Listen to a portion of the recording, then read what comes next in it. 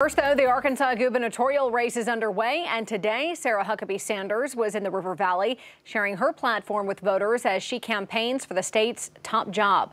Thanks for joining us for your 5 News at 10. I'm Erica Thomas. And I'm Darren Bob. This all part of Sanders' Freedom Tour. Early campaign start comes months ahead of the Republican primary, more than a year ahead of Election Day in November of next year. 5 News reporter Michael Wilson is in Fort Smith with more from today's rally.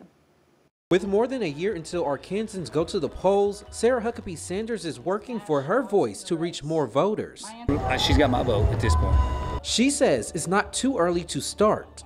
I feel very confident in my ability to lead our state. What we need right now is somebody who can both be a fighter to push back against the radical left coming out of Washington. Sanders is the former White House press secretary for President Trump, and she says if elected as governor of Arkansas, she will work hard for the state. I can make sure that every single day we worked hard to empower the American people, not try to take away their rights and their freedom. One of the reasons she has support from some Arkansans like Rudy resident Alan Hick because of her history with uh, Trump and with the press, how she handled herself with the press at the White House. I really felt like she was strong. Strong was a word that was heard multiple times during the rally, and that's why hundreds filled the Riverfront Amphitheater in Fort Smith. I'm not at all scared of the fight against Washington. I'm only scared of what happens if we don't engage in it.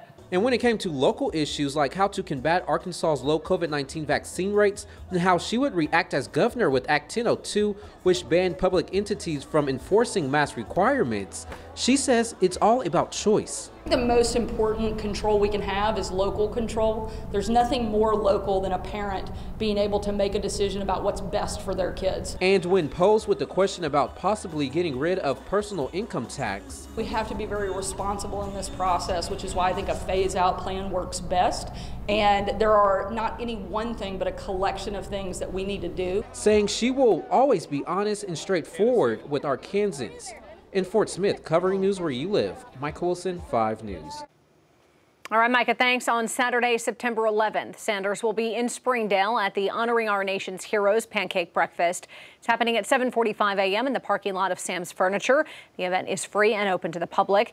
Sanders is currently facing only one opponent in the Republican primary, current Arkansas Attorney General Leslie Rutledge, who also spoke with 5 News today. Rutledge says she believes her track record as Attorney General will give her the edge with conservative voters across the state. As the Attorney General, I've made decisions every single day on behalf of all 3 million Arkansans, making Arkansas the most pro life state, uh, making sure that we have job creation, pushing for more educational opportunities for young people, such as workforce development uh, in our schools, protecting the right of parents to have school choice, while at the same time making certain that those who hurt Arkansans are held accountable. Meanwhile, on the Democratic side, Anthony Bland is one of four candidates vying for the party's nomination. He told us today his campaign is focused on helping struggling communities across the state. Uh, I believe we're still on a journey to uh, establish a profound education system. We're still on a, a heavy journey to provide health care for all of our people in our community. Here's a look at all four Democratic candidates. They include Chris Jones, who grew up in Pine Bluff, went on to get degrees in nuclear engineering and urban planning. James Russell, a Central Arkansas businessman, and former Walmart executive Supha Mays. And finally, Ricky Dale Harrington Jr., who challenged Tom Cotton in the 2020 Senate race, is running on the Libertarian ticket.